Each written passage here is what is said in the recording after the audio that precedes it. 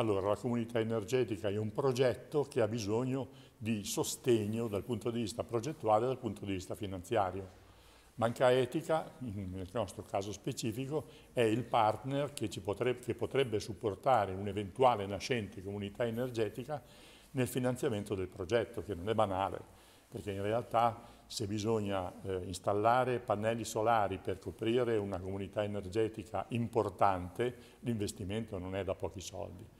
Quindi il progetto deve tenere conto dell'equilibrio economico ma deve tenere conto anche del fatto che senza uno strumento finanziario importante la comunità energetica non potrà mai decollare e la finanza etica è esattamente coerente con il progetto delle comunità energetiche, soprattutto se si realizzeranno in termini, di,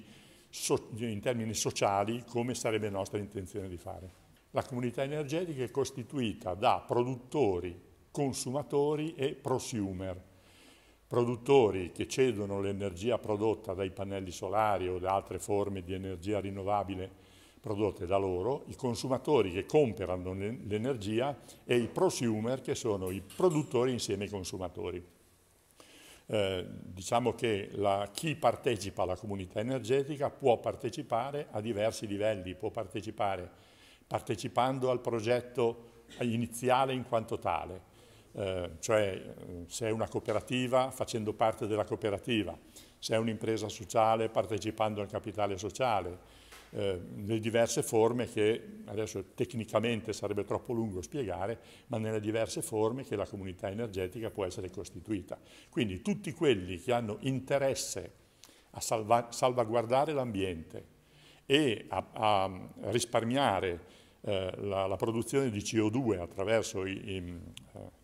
eh, i, quasi fossili, eh, la comunità energetica è la risposta ed è una risposta che è coerente con il messaggio di Papa Francesco, non l'ha laudato sì, ed è coerente con eh, i valori fondamentali di Banca Etica. Banca Etica c'è per mettere a disposizione degli strumenti che consentono di fluidificare intanto il percorso, che è un percorso ostacoli, in quanto la progettazione alla fine è veramente un percorso ostacoli, sono appena usciti dei decreti utili per fare questo, ma devono essere decifrati innanzitutto e successivamente anche i prodotti utili dal punto di vista proprio della messa a terra, a cominciare dall'apertura di un banale conto corrente agli strumenti del credito, sia alle persone fisiche che vogliono entrare in una CER, sia delle organizzazioni, l'organizzazione stessa CER che gestisce la CER, che può essere di varia natura, può essere anche un ente religioso, può essere anche un ETS quindi eh, si cerca di rendere fluido il percorso, di andare a mettere olio in questo ingranaggio che altrimenti sarebbe effettivamente molto complesso. È la volontà di farcela e quindi di partire e di esserci eh, con gli strumenti che sono gli strumenti della finanza etica che ricordiamo è quella finanza che ha reso possibile anche il conto energia 25 anni fa. Finalmente abbiamo attivato il nostro primo impianto di produzione fotovoltaico da 20 kW. Eh, una giornata quindi finalmente che arriva dopo otto mesi dalla nostra costituzione perché ci siamo costituiti a marzo con appunto l'obiettivo di partire con questo primo impianto, speriamo poi di poterne fare altri o comunque di poter allargare il nostro intervento. L'impianto è in, nel quartiere di Albaro in Corsa Italia, è appunto a 20 kW di potenza e quindi speriamo genererà circa 20.000 kWh all'anno, che è più o meno l'equivalente del fabbisogno annuale di 8 famiglie, poi ovviamente l'impianto produce solo di giorno, per questo che in realtà siamo un po' di più, siamo già una decina di famiglie più una piccola attività commerciale che condividono questo impianto, perché ovviamente l'impianto produce solo di giorno e quindi l'energia prodotta e condivisa eh, viene scambiata dalle, diciamo, dalle prime ore della mattina fino alla sera.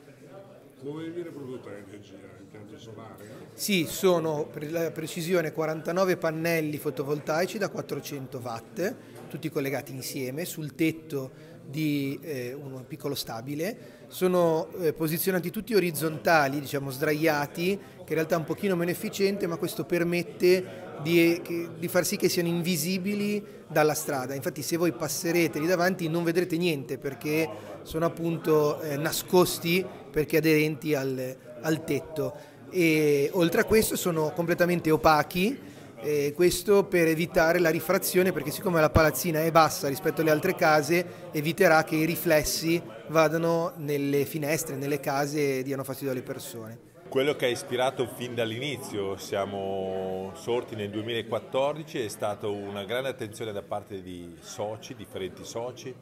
dove ci sono diocesi, ci sono congregazioni religiose, ci sono anche eh, singole parrocchie che hanno preso ispirazione dalla Laudato Si di Papa Francesco e da lì hanno cercato di animare e di dare sempre più forza a questo disegno importante che, a cui il Papa ci ha invitato a riflettere, cioè che la terra non è nostra ma la terra va conservata, anzi va mantenuta. E quindi da questo punto di vista ci preoccupiamo di recuperare, rimettere in ordine gli edifici ad uso collettivo con Fratello Sole Energie Solidali e di costituire e animare da, da un po' di tempo a questa parte anche le comunità energetiche perché crediamo nel valore, soprattutto nella prima parola, comunità su questo vogliamo lavorare e crediamo di poter fare qualcosa di particolarmente significativo non solo a Genova ma in giro per tutta Italia. Ci stiamo attivando per dare supporto alla nascita di queste eh, comunità energetiche rinnovabili eh, sfruttando la nostra esperienza di cooperativa di produttori di energia rinnovabile che condividiamo con i nostri soci e cercando appunto di proporre un modello il più possibile eh, etico, democratico e inclusivo che sia attento sia da un lato ai bisogni del territorio e dall'altro lato a lasciare i benefici anche economici che queste iniziative possono produrre sul territorio quindi un approccio diverso magari da altri soggetti che possono fare offerte magari anche più convenienti in un certo senso, però molto spinte più sull'aspetto economico commerciale. Sul territorio adesso noi, diciamo, la, la cooperativa come dicevo ha membri eh, distribuiti in tutta Italia e qua con un gruppetto di soci liguri ci stiamo attivando per fare rete con altre realtà locali come la Cer Sole di cui si parlerà questa sera e eh, anche con i partner come i GIT di Banca Etica proprio per creare una rete di supporto e di promozione di queste iniziative dando la possibilità a chi è cittadini ma anche agli enti, ehm, alle associazioni del terzo settore che si vogliono attivare di poter usufruire dell'esperienza ciascuno del, del suo settore diciamo, per far nascere queste iniziative e far sì che appunto siano i cittadini protagonisti eh, sia per, nel, nel momento in cui le promuovono sia poi nei benefici che ne riceve il territorio.